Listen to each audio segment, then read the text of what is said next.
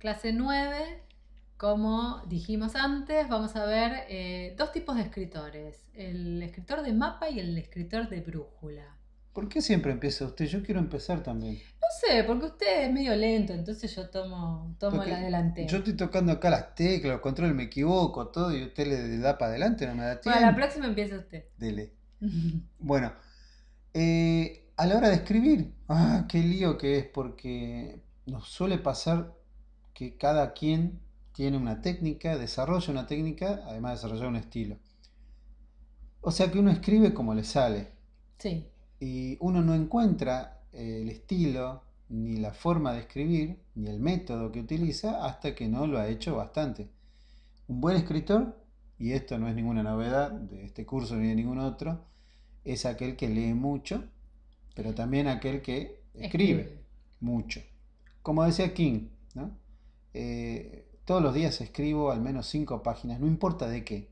Tal vez no estoy escribiendo mi novela que me encargaron por 5 millones de dólares, pero escribo cinco páginas sí o sí porque así me mantengo en forma, ¿no? la lista del almacén, ¿no? La lista del La lista. supermercado. Hay, que, hay que escribir por Sí. lo menos, chicos. Bueno, existen dos maneras de escribir en general, ¿no? Eh, en España la llaman así escritores de brújula y escritores de mapa. ¿Por qué?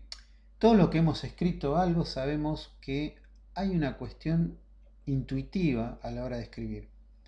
Durante el resto del curso vamos a estar hablando de nuestra metodología específica para escribir, que consiste, básicamente nos gusta decir, en rolear Sí, nuestros personajes, meterlos en una situación y dejar que salgan.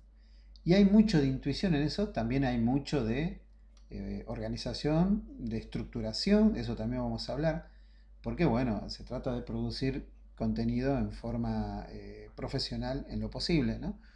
Eh, es que a determinado punto de la escritura, eh, cuando uno escribe cosas muy largas, ¿no?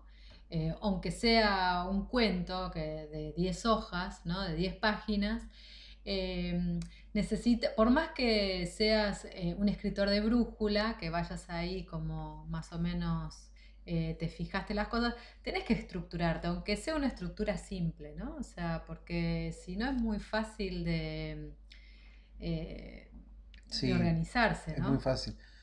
Eh, muy difícil. Es muy difícil, eso, perdón. Eh, es muy si no, no estaríamos aquí. Eh, No, mire. obvio, obvio. Bueno, mu- muchos se preguntan, bueno, le preguntan a los escritores profesionales, ¿por dónde empezás una historia? ¿Cómo empezás a pensar una historia? Y, y bueno, cada- la verdad es que la respuesta no es una sola, porque eso puede venir de múltiples lugares. Tal vez tengo un tema que me gustaría tratar, tal vez tengo un personaje que me encantó, tal vez tengo una historia que me gustaría contar, o Oh, tal vez tengo una necesidad artística de expresión sobre algo. Y la verdad es que la idea me va a venir de cualquier lugar. En realidad no hay un método que sea válido para todo el mundo, pues somos todos diferentes. O sea, yo no puedo decir, bueno, tenés que comenzar a pensar en los personajes. En realidad lo vas a tener que hacer en algún momento de la cadena de producción, pero no sabemos si es al principio o al final, antes de comenzar a escribir. Bueno, el escritor de brújula que hace, escribe de una forma mucho más intuitiva. Es como si, dice ahí, como si tuviera o supiera hacia dónde es el norte, hacia dónde quiere ir, ¿sí? Y comienza a escribir. Esto es muy raro para los que no escriben porque te va a pasar que mm, como autor no sabes vos mismo qué va a pasar en la historia. Uno Eso la es va... lo lindo también, ¿no? Porque es como que vas descubriendo tu propia voz, a tus propios personajes, ¿no? O Así es. Está bueno porque también uno mismo se sorprende con lo que va pasando, con lo cual hay buenas chances de sorprender al lector. Parece una cosa como de magia. Tendrá que ver con el subconsciente, con la musa, ¿no? Con Dejemos a la musa por. Acá la musa es la, Acá, la musarela, la, la grande de musa, musarela. la musa, la pizza de mozzarella, qué rico. Bueno, no me, no me distraiga. Bueno, eh, entonces escribir a la brújula implica un poco un proceso de intuición, ¿sí? Eh, todas las historias tienen como una lógica, más allá de que estemos, hay- hayamos estado hablando de encontrar ideas a través del pensamiento lateral y de la innovación, pero la verdad que la historia tiene que ser coherente en algún punto, porque si no, no, no tiene categoría de historia, sino más bien de texto experimental o de mejunje o de cadáver exquisito o de lo que sea. Claro, aunque, aunque sea bastante loco lo que estás escribiendo, hay una lógica dentro de esa eh, cosa delirante tal vez, ¿no? Pero hay una lógica que se sigue. Así es, entonces uno va escribiendo así, cuando dice, bueno, yo quiero ir más o menos allá y voy yendo hacia ahí y voy a llegar eventualmente, el resultado va a depender de nuestra habilidad, de la suerte, no sabemos bien. Como dice aquí, es increíble cómo el propio escritor, un par de hojas, incluso un par de párrafos antes, incluso un par de líneas antes, no sabe que va a terminar la historia. En un punto uno está escribiendo y en un punto siente que todos los cabos quedaron atados y ahí terminó y ya no tiene nada que decir. Por ejemplo, a mí me pasó esto se lo voy a confesar a usted, espero que no me esté escuchando nadie. Me pasó con este, por ejemplo, con este libro que escribimos. Eh, lo, cuando terminé, puse el punto final, dije, terminé. En realidad no esperaba terminarlo, o sea, sabía que lo iba a terminar probablemente ese día, pero esperaba terminarlo como un poco después o algo por el estilo. Y es un, aparte, de, eh, es un proceso de emoción, digamos te, emociona. Lo terminé, ¿no? Es como decir, uh, y el libro tiene como una vida propia, aparte, se va del autor, ¿no? Es como los hijos, se piran. No, y aparte cuando uno vuelve a retomar los textos que escribió, en general, eh, a veces no, no, se acuerda exactamente lo que escribió, ¿no? Y te, te, sorprendes a vos mismo. Y ah, mira, parece como otra persona que haya escrito eso. Bueno, eh, yo soy un poco una escritora de brújula. ¿Hasta así? Eh, no me digas. Sí, no, a mí lo de en general en la vida soy medio de brújula, ¿no? O sea, no bruja, brújula, ¿sí?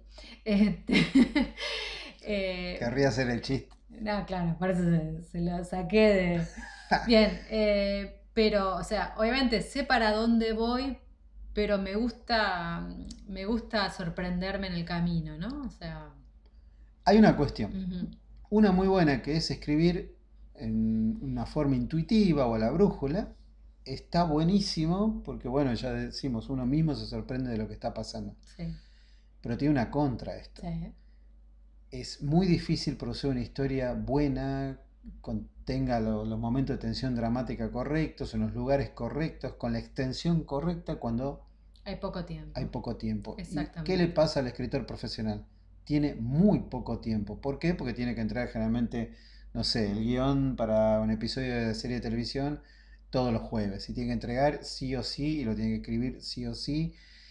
Y ya no se puede escribir completamente de una forma intuitiva la brújula. Entonces venimos con claro, la otra cuestión. Aparte, eh, una contra que tiene eh, la, escritura a la brújula es que cuando uno trabaja profesionalmente y tenés deadlines como ser entregar un guion, no sé, eh, una vez al mes o una vez a la semana, lo que sea, eh, a veces como que mm, e, esa constancia hace que uno se repita, que, se como que se, que se digamos, quede embarrado en algún lado sin poder salir de ahí, ¿no? Entonces, bueno, también viene el bloqueo ahí. El bloqueo, claro. Entonces la estructura te sirve, en definitiva, con lo que vamos a ver ahora, el escritor de mapa, te sirve para tener ese andamio que te da un poquito más de seguridad. Así es. En esencia uno planifica la historia. Claro.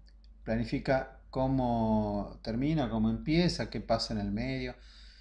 Eh, esto lo vamos a ver en detalle en clases subsiguientes. Ahora simplemente lo queremos presentar junto con el escritor de brújula. Es la otra forma ya más profesionalizada del escritor. El escritor, por ejemplo, sobre todo el guionista, que necesita planificar la historia antes de escribirla. ¿sí? Exactamente.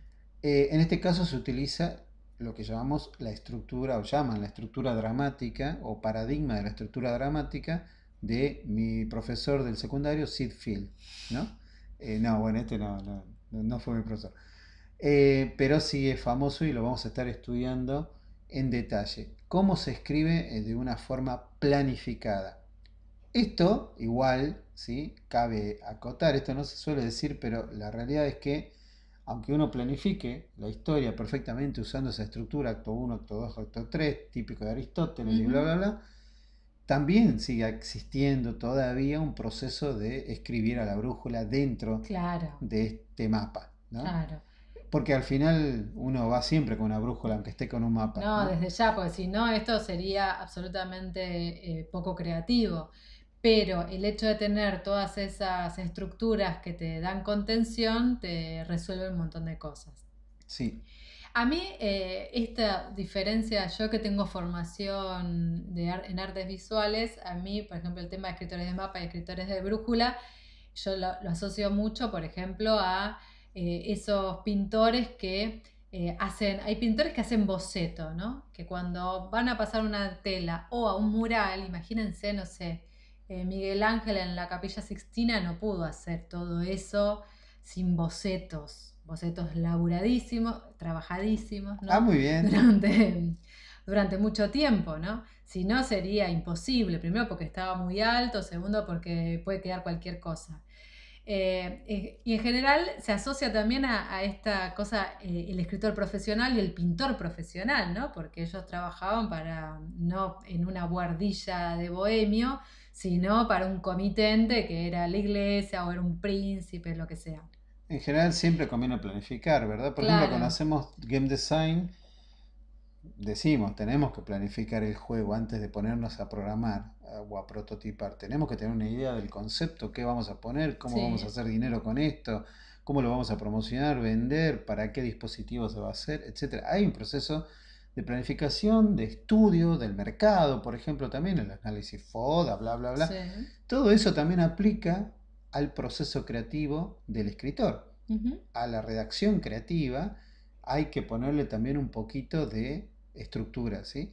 Por más loco que uno esté, necesita a veces tener un orden y un andamio por donde andar caminando y poniendo los- las cosas que hay que poner en los lugares correctos.